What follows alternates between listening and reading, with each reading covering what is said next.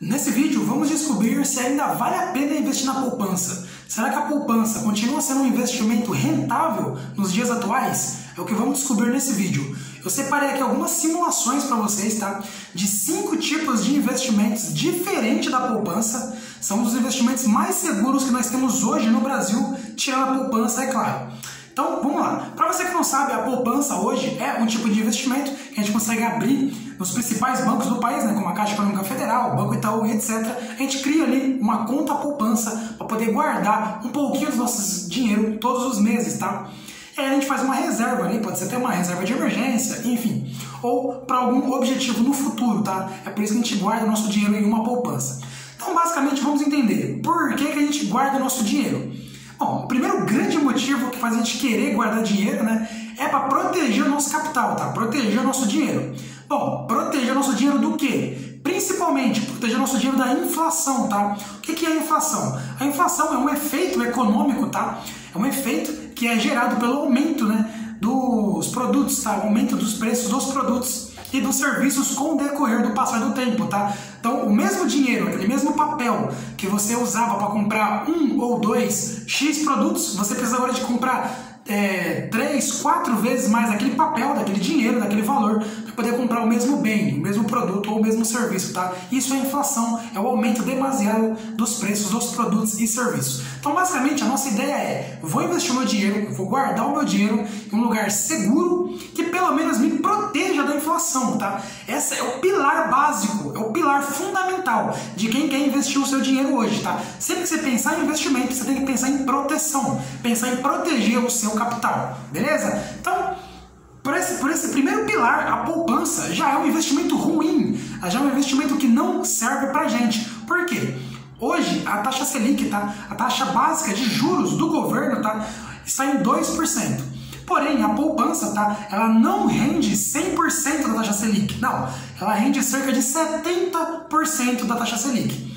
Pois bem, se a taxa Selic hoje está em 2%, 70% disso vai dar em torno de 1,40% mais ou menos, tá? Esse é o rendimento é, real da, do seu dinheiro na poupança, tá? Então, por exemplo, se você colocou 100 reais na poupança, você vai ter ali 101 reais e 40 centavos após 12 meses, tá?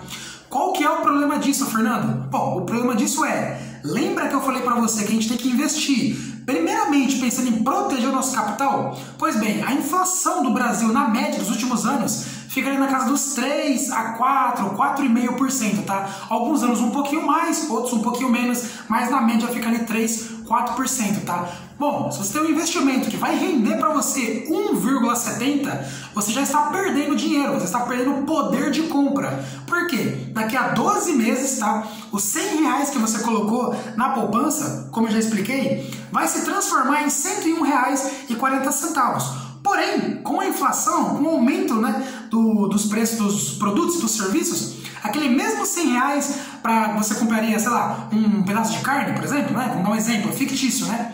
Você precisaria agora, como a inflação foi de 4%, você precisaria de 104 reais para comprar aquele mesmo produto. Como eu dei de exemplo aqui, é um quilo de carne, por exemplo. É claro que é, é inimaginável um quilo de carne a 100 reais, tá? É só um exemplo aqui.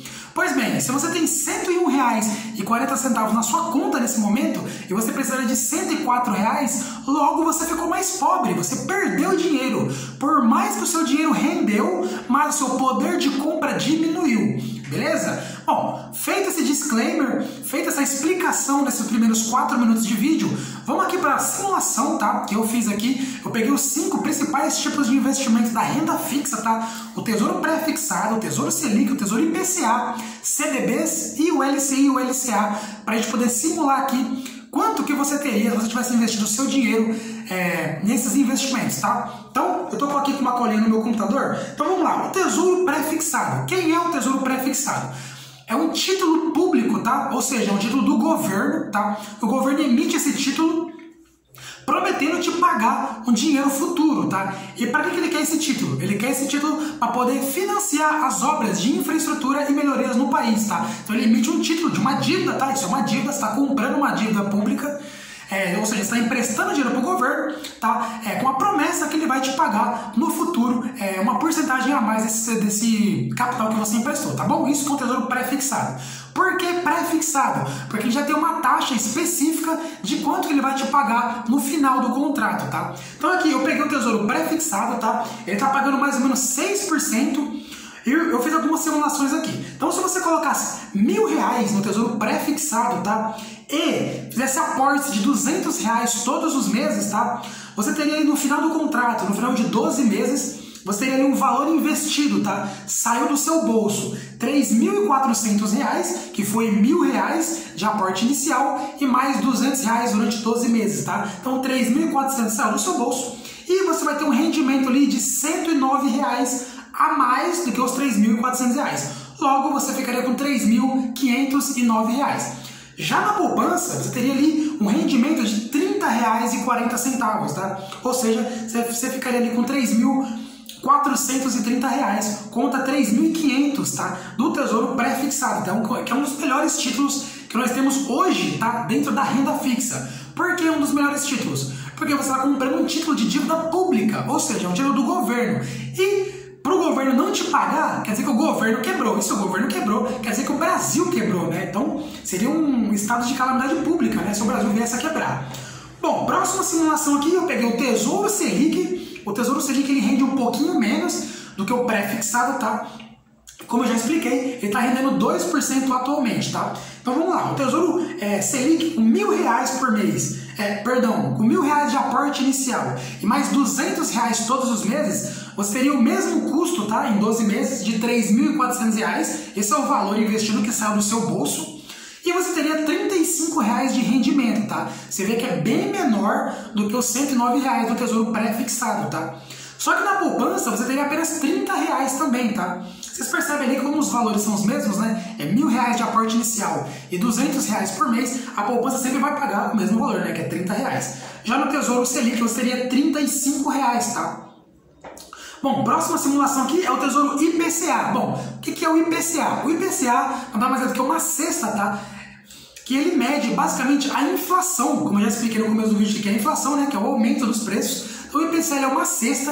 Dentro dessa cesta básica, ele pega alguns produtos é, básicos e serviços básicos do nosso dia a dia, como arroz, como feijão, como a carne e etc. Alguns outros serviços é, básicos e mede qual foi o aumento é, desses produtos, desses serviços, tá? Com isso, ele gera ali uma média, uma porcentagem da inflação dentro de um período de tempo. No caso aqui é todos os anos, tá? Então o Tesouro IPCA, como o próprio nome já diz, né? Ele é o IPCA, ele já vai te pagar a inflação, que é isso que é o IPCA, ele já vai te pagar a inflação e mais um rendimento, tá? O Tesouro IPCA que eu peguei aqui, ele vai te pagar ali mais, mais ou menos 3,4% além da inflação. Então ele já garante para você a inflação mais 3,4%, tá? Então é um excelente investimento também. Bom, fazendo aqui as mesmas simulações de mil reais de aporte inicial e mais 200 reais todos os meses, tá? Durante um aninho, tá? Peguei apenas um aninho aqui. Você teria ali 90 reais de rendimento, ou seja, você teria 3.490 reais contra os mesmos 30 reais na poupança, tá? Então aqui renderia três vezes mais do que a poupança. Bom, vamos falar agora de CDB, tá? CDB, para quem não sabe, é quando você empresta dinheiro para os bancos, tá?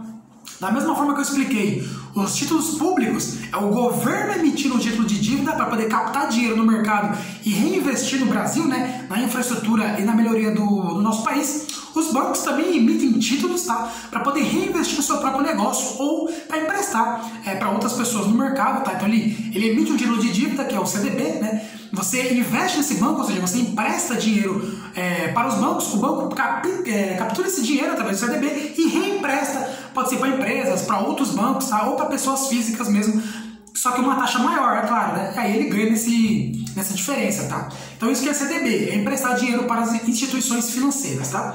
Então, os mesmos mil reais, tá? É, de aporte inicial e mais 200 reais por mês, tá? Durante 12 meses, eu tô pegando aqui um período bem curto de tempo, tá? Quanto maior você deixar o seu dinheiro rendendo, maior será é, o lucro, tá? Dos seus investimentos, tá? Eu peguei apenas 12 meses, que é um período extremamente curto. É só para abrir sua mente e você ver como, tem, como temos opções muito melhores do que a poupança no momento no mercado, tá? Por mais que a taxa Selic esteja extremamente baixa, tá? ainda temos boas oportunidades na renda fixa. Então vamos lá. O quarto investimento é o CDB, tá? Então você vai colocar os mesmos mil reais de aporte inicial, mais 200 reais todos os meses. Você vai ter o mesmo custo, né? 3.400 reais investido e vai render ali 47 reais, tá?